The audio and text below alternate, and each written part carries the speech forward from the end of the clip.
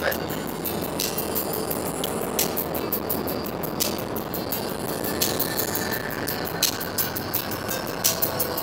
Oh my god, this looks so good. say hello. We're trying Iceland. Oh, ew. That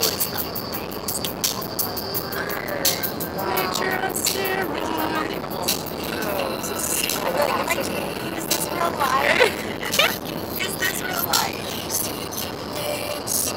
Oh. Oh, hello. We're gonna have to like at some point pull over and just take a picture. Uh, yeah, I'm okay with all of these ideas.